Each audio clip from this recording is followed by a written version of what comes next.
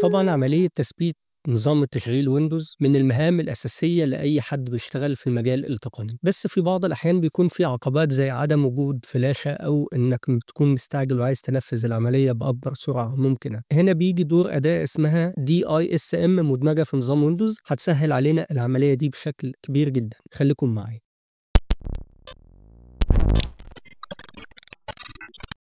أهلا وسهلا بكم. برحب بكم في فيديو جديد. أنا محمد غراب وخلينا نبتدي بشكل مباشر. أول حاجة لازم تعرفوا إن الطريقة مناسبة إنك تنفذها على ويندوز 10 أو ويندوز 11 تمام؟ ولازم يكون متوفر عندك ملف الايسو الخاص بنظام الويندوز سواء برضه ويندوز 10 أو ويندوز 11 أول حاجة هنعملها ندوس right click على نسخة الايسو نختار mount بعد ما يتعمل mount هنروح لل folder sources وبعد كده هنيجي نرتب الملفات حسب الحجم. هيظهر معانا هنا أكبر ملف حجمه 6 جيجا تقريبا اللي هو ال install dot wim ناخد الملف ده copy وبعد كده نروح على drive تاني يكون غير ال drive ال C اللي عليه النظام اللي إحنا هننزل عليه الويندوز الجديد.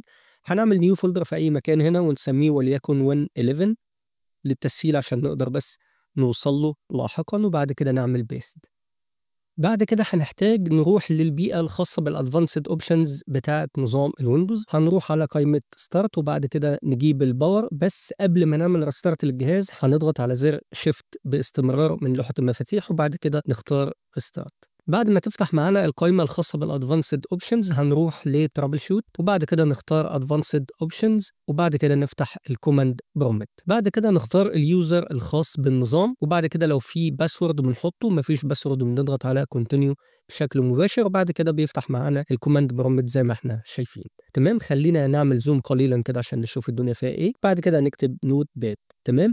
هتفتح معانا ال Notepad بالطريقة دي. هنيجي من قائمة file هنختار open وبعد كده نضغط على This PC هنلاحظ حاجة بقى مهمة جدا إن ال drive بتاع ال data بقى على ال drive C زي ما إحنا شايفين وده ملف ال install dot wim لو عملنا هنا all files هنلاقي install dot wim تمام؟ وهنلاحظ كمان إن ال drive اللي عليه الويندوز بقى drive ال D ده اللي عليه الويندوز القديم. إحنا طبعا اتأكدنا من وجود ملف ال install dot wim فاحنا هنعمل إيه؟ هنعمل format لل drive اللي عليه الويندوز القديم. هنضغط عليه right click ونختار format تمام؟ ونتأكد إن إحنا مختارين quick format ونحط label لل drive وليكن ويندوز علشان نقدر نميزه لاحقا. وبعد كده نقول له start وبعد كده نقول له okay كده إحنا عملنا format لل drive اللي إحنا هننزل عليه ال Windows. طيب هندوس cancel ونقفل ال Notepad وبعد كده هنل... هنكتب C علشان نروح لل drive اللي عليه ملف ال install dot wim وبعد كده هنكتب سي دي إحنا كنا عاملينه في folder اسمه Windows 11 كده إحنا بقينا واقفين في المسار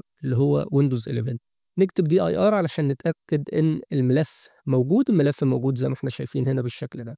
إحنا عايزين نعرف النسخة اللي إحنا عايزين نثبتها سواء كانت Home أو Pro أو Education فهندخل الأمر اللي إحنا شايفينه ده اللي هو DISM مسافة get image info مسافة طبعا تقدروا توصلوا للأوامر دي من خلال صندوق الوصف. بعد كده هندوس enter بعد تنفيذ الأمر هيظهر لنا النسخ المدمجة في ملف ال install dot wim إحنا محتاجين نثبت النسخة اللي هي ال Windows 11 Pro رقم ال index بتاعها هو 6 تمام؟ بعد كده هننفذ الأمر التالي لكن هنعدله بما يتناسب مع الأحرف اللي موجودة عندنا على الجهاز. في الحالة بتاعتي الملف اللي هو ال install dot wim ده موجود في drive C وال index 6 ده رقم النسخة اللي أنا عايز أعمل لها installation اللي هي ال Windows 11 Pro تمام؟ وعندي ال apply dir ده أنا عايز أنزله على ال drive ال D اللي إحنا عملنا له format من شوية. وبعد كده هنراجع نتأكد إن إحنا حطينا هنا مسار الملف ال install dot wim الكامل واخترنا ال index بتاع نوعية ال Windows اللي إحنا عايزين نثبته وفي نفس الوقت حطينا ال drive اللي إحنا هنثبت عليه ال Windows هنا.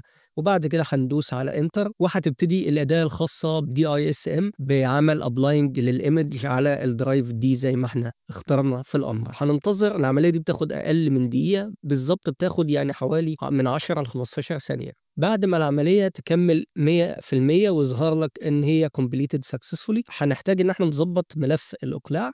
فهنكتب الأمر BCD boot تمام؟ وبعد كده نكتب ال drive اللي إحنا نزلنا عليه ال Windows نقطتين فوق بعض.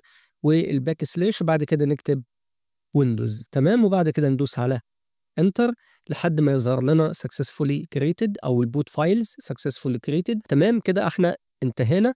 فهنقفل ال command prompt هنا وبعد كده هنا هتلاحظ إن هو بيقول لنا continue to Windows 11 لو أخدتوا بالكم أنا بدأت على Windows 10 وعملت له format تمام؟ فهنضغط على Windows اللي إحنا نعمل continue أو نكمل ل Windows 11 وبعد كده تظهر لنا المراحل اللي هي ال OOBE الخاصة بالتثبيت بتاع Windows أو استكمال التثبيت بتاع نظام Windows فهنعدي الموضوع بسرعة علشان خاطر وقت الفيديو. تمام يبقى إحنا كده ثبتنا نظام ال Windows بدون استخدام فلاشة وفي نفس الوقت بسرعة كبيرة جدا.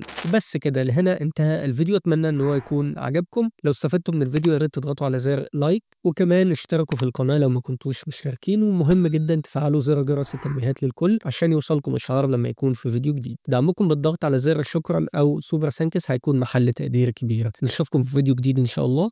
سلام.